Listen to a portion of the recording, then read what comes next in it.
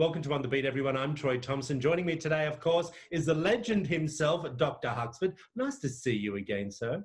Always a pleasure, Troy. Good to see you. Okay, now I wanted to touch on a few different things this morning, if we can.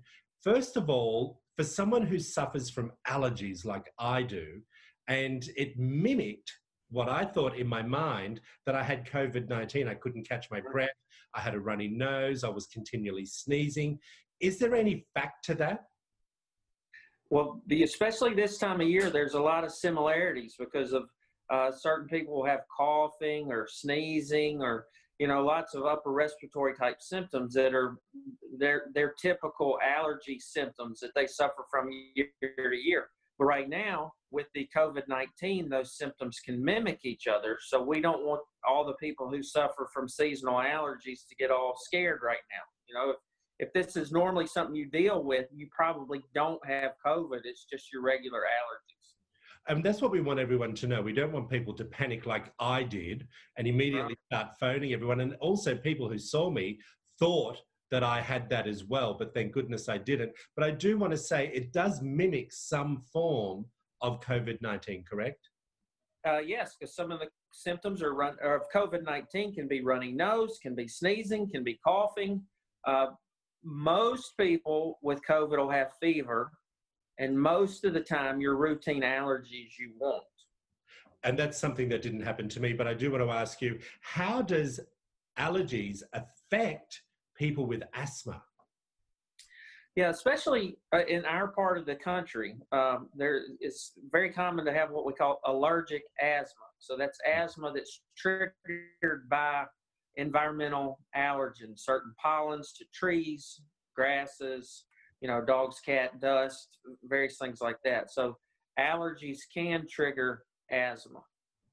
Now, someone doesn't have asthma, but they have severe allergies, would you be recommending them to go to the doctor and see if ventilators, you know, the little puffers that are, are wise for them to be using? Yeah, they're, uh, excuse me, inhalers, yes. Uh, especially if you have uh, associated with your allergies a cough, not necessarily shortness of breath, yes, especially if you have shortness of breath, but you could just have cough, and that can be your only symptom of asthma. So if it's more than just the watery eyes and the running nose, it's probably worth getting checked out.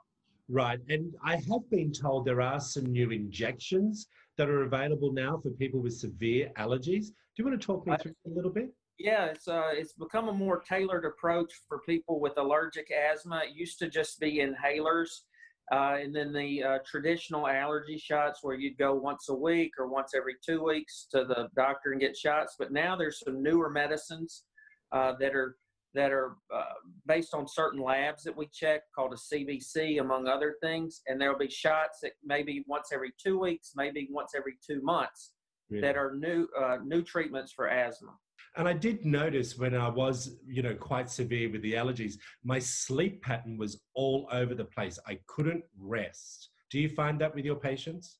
Uh, yes, because oftentimes it affects your breathing, or at least through your nose, and um, and you snore, and that can disrupt your sleep, or you're just not resting well. So um, it's very common for allergies and asthma to disrupt sleep. If I just suffer from the hay fever, which are giving me symptoms of asthma, do I should I be going to someone like that, or should I be going to my regular GP? Oftentimes, a regular GP can handle it, but you know these days with with subspecialists fairly available, it's worth going to see them. Typically, uh, there's uh, ear, nose, throat doctors, ENTs often do allergy work, you know, skin pricks and blood tests, but then there's also a medical specialty called an allergy immunologist who can do it as well. Well, as always, Dr. Huxford, you give us great information. We really appreciate it. Thank you, Troy. Good to see you. See you next time. If we want to find out more information, there it all is up on the screen. Dr. Huxford, all his new details of his new clinic as well. Back after this short break.